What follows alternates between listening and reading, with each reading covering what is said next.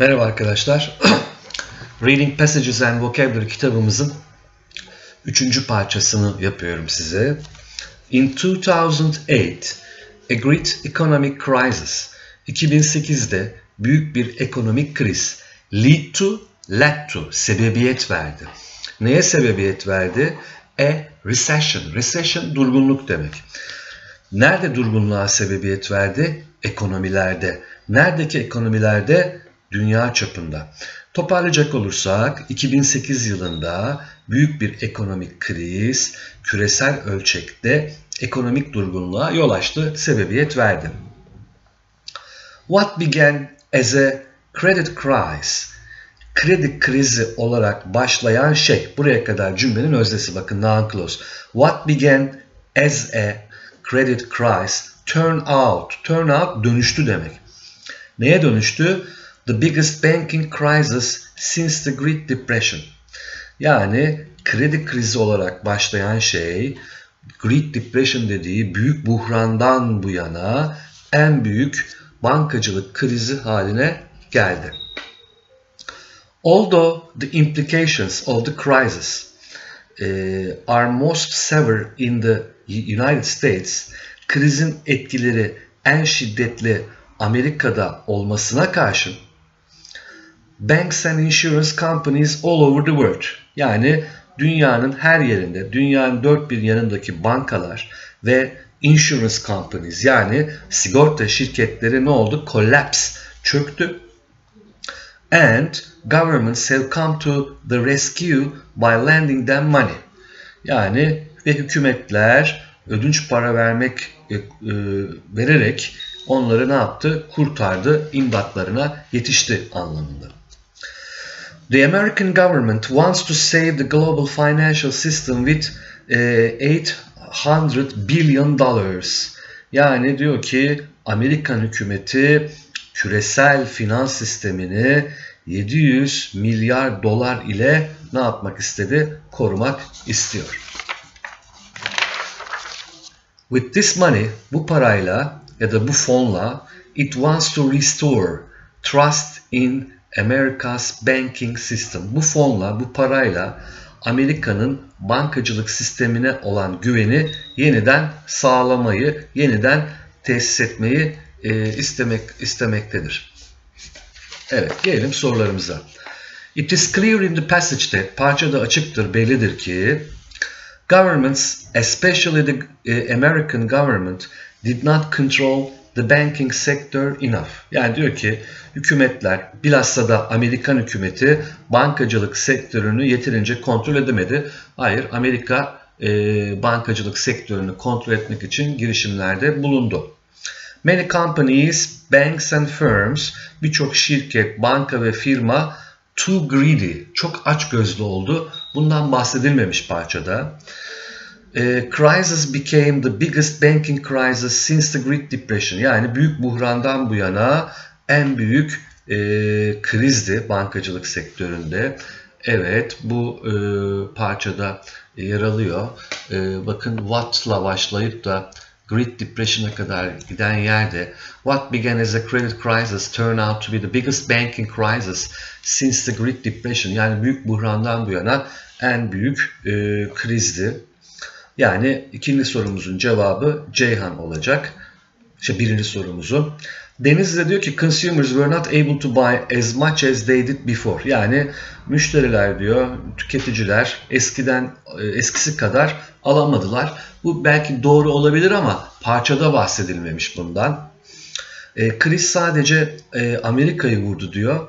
Hayır, Amerika dışında all over the world diyor. Yani bütün dünyayı dediğine göre birinci sorumuzun cevabı Ceyhan olacak. İkinci sorumuzda It's explained in the passage that parçada açıklanmıştır ki bakalım ne açıklanmış. A şıkkına diyor ki Banks gave loans. Loan ne demek? Kredi demek. To people. insanlara bankalar e, kredi verdi. Without asking for securities. Yani güvenlik araştırması yapmaksızın bankalar insanlara kredi verdi. Bu da parçada bahsedilmiyor. Nations began looking for new ways of making more money. Yani uluslar e, para kazanmanın yeni yollarını aramaya başladılar. Bu da parçada bahsedilmiyor. Foreign investors, yabancı yatırımcılar e, paralarını Amerika'dan çektiler. Bu da parçada bahsedilen bir konu değil. The American government wanted to restore trust in the American banking system. Yani bakın bu da paranın şey paragrafın en son e, cümlesinde e, with this money bu parayla it wants to restore trust in American banking system yani e, ne yapmak istedi? Bankacılık sistemine yeniden güven getirmek istedi. E, D seçeneği doğru olacak. Edirne'de ise the effects of the crisis, krizin etkileri was not considered as big or important for the world. Yani dünya için büyük veya önemli görülmedi. Hayır, çok e, büyük buhrandan bu yana en büyük krizdi. O yüzden önemli ve büyük bir kriz. E, ikinci sorumuzun cevabı denizde olacak. According to the passage parçaya göre the crisis caused. Kriz sebebiyet verdi. Neye sebebiyet verdi bakalım? A şıkkında financial problems for rich countries yani zengin ülkelerde finansal problemlere sebebiyet verdi. Şimdi illa da e, zengin ülkelerde e, finansal problemlere sebebiyet vermemiş olabilir. Tüm dünyada verdiği için zengin fakir diye ayırt edemiyoruz. A şıkkı bu yüzden olmaz. E, the crisis caused a lot of money to rich people. Yani e, bu kriz e, zenginlerin çok para kazanmasına sebebiyet verdi parçada bahsetmiyor. Banks and insurance companies to collapse yani bankaların ve sigorta şirketlerinin çökmesine sebebiyet verdi. Bu da nerede? Bakın e, oldu oldu başlayıp e, tam money'e kadar giden yerde banks and insurance companies all over the world have collapsed. Yani üçüncü sorumuzun da cevabı burada. D seçeneğinde şirketler daha ucuz işçiler işe aldı. Parçada bahsedilmemiş. E, the crisis caused consumers kriz insanların, e, müşterilerin daha fazla ürün almasına sebebiyet verdi. Bu da alakasız böyle bir şey olmaz zaten değil mi? Kriz olunca insanlar daha fazla ürün alamazlar. Üçüncü sorumuzun cevabı Ceyhan olacak.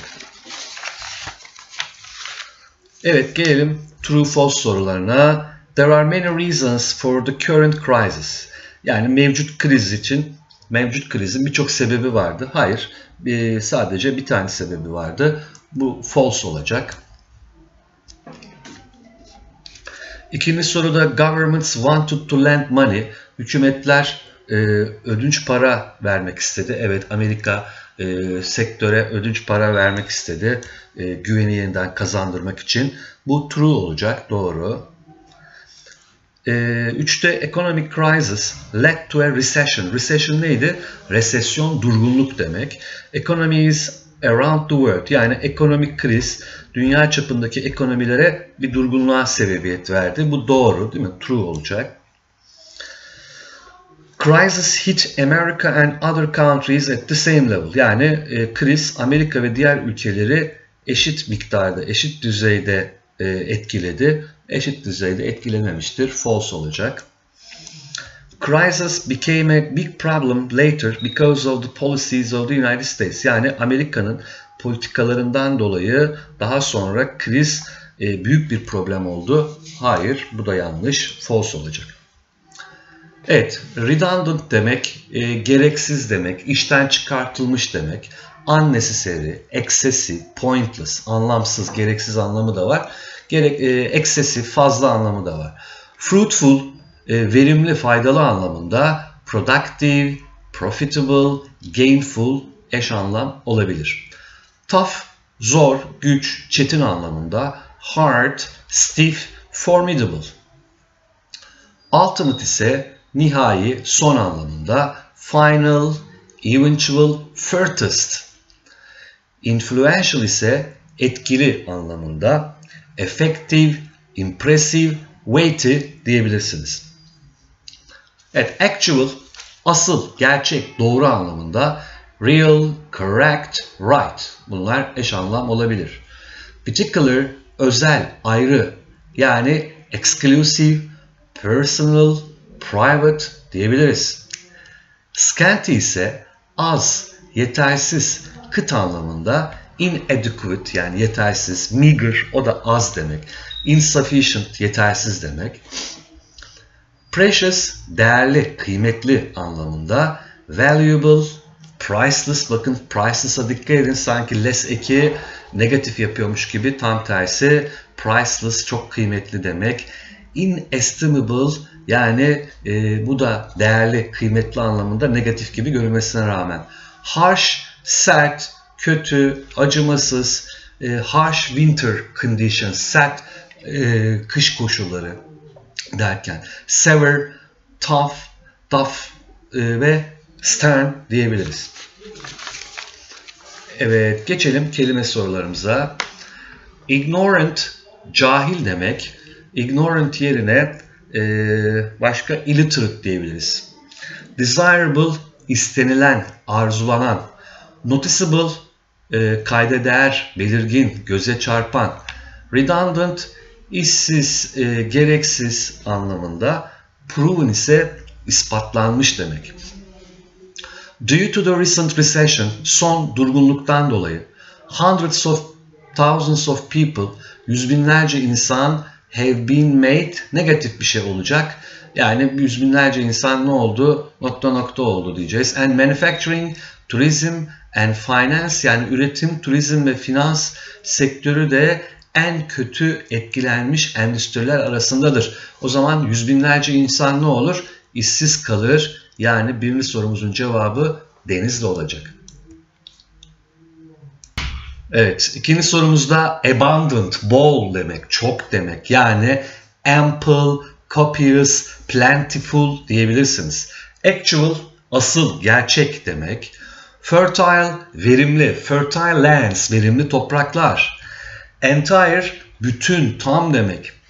Constant ise sürekli anlamında. There is a gap, bir boşluk var between the desired, istenilen ve hangi performans arasında bir boşluk var? Hep istediğimizle gerçek performans arasında bir boşluk olur zaten değil mi? Yani there is a gap between desired and actual performance. Bir, iki burs olacak. Fruitful, verimli, faydalı anlamında. Permanent, kalıcı. Mesela per, permafrost, sürekli donmuş buz anlamında. Haphazard, random, rastgele. Credible, güvenilir demek. E, genuine ise hakiki. Genuine leather, hakiki deri derken. The negotiations, müzakereler, tartışmalar. Concerning ne demek? About demek. Ne konudaki tartışmalar? Total disarmament yani tam bir silahsızlanmayla ilgili müzakereler have broken down. Ne oldu? Ee, işe yaramadı, bozuldu. Without leading any e, result. Nasıl bir sonuç elde etmeden e, bozuldu? Faydalı bir sonuç elde etmeden yani fruitful diyeceğiz. The negotiations Hangi negotiations concerning total disarmament e, tamamen silahsızlanma ile ilgili müzakereler have broken down bozuldu. Without leading sebebiyet vermeden ne, neye sebebiyet vermeden herhangi bir e, faydalı sonuca sebebiyet vermeden müzakereler çöktü anlamında. E, üçüncü sorumuzun cevabı Ankara olacak. Profound derin demek. Profound. Remote, remote control'den bilebiliriz. Uzaktan kumanda. Remote uzak demek. E, mysterious gizemli. E, agile atik, çevik anlamında. Particular ise özel, belirli anlamında.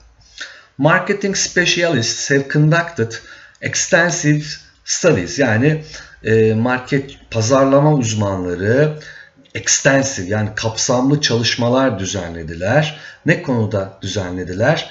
What attracts consumers? Yani müşterileri ne çektiği. E, to buy a belli bir ürünü alırken müşterileri cezbeden, çeken şeyin ne olduğuna dair e, kapsamlı çalışmalar yaptılar. Nasıl bir ürün? Belirli bir ürün yani a product diyeceğiz. Evet, alt, beşinci soruda tough, katı, sert demek. Extinct, e, soyu tükenmiş, yok olmuş demek. Extinction da isim hali. Reluctant, unwilling, isteksiz demek. Essential ise important anlamında, önemli.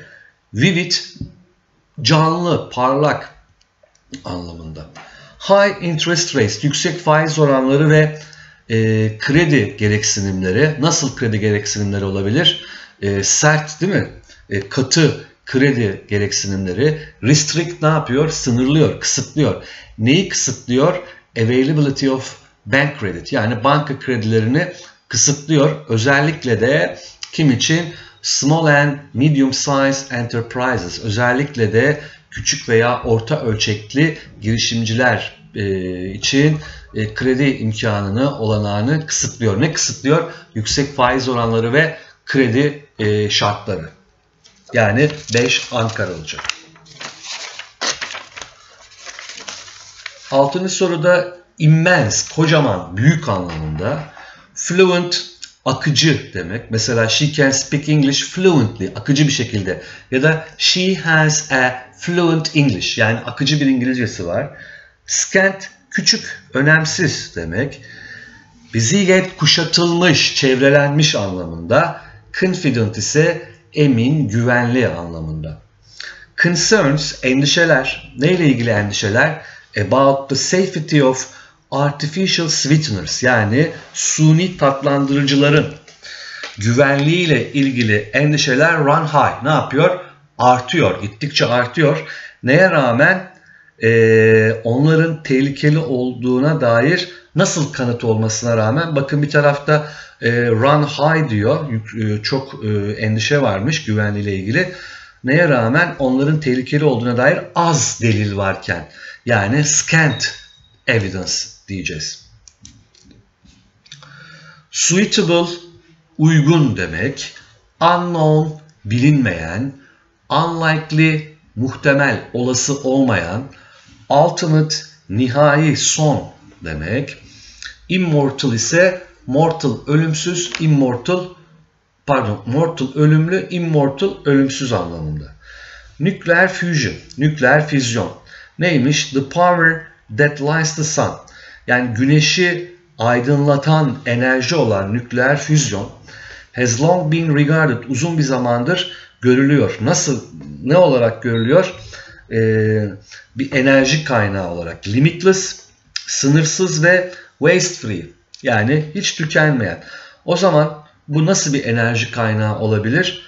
Ultimate yani hiç sona sona ermeyen e, e, nihai bir e, immortal'ı daha çok böyle insanlar, hayvanlar için kullanırız. O zaman yedinci sorumuzun cevabı ultimate yani sonsuza kadar gidecek bir enerji kaynağı. Precious, değerli, overwhelming, ezici demek. Disastrous, felaket. E, stagnant, durgun demek. E, existing de var olan. In ancient times, eski çağlarda glass was very important. Cam çok önemliydi. Niye önemliydi? Because people valued it. İnsanlar ona değer veriyorlardı. Ne gibi? As much as they.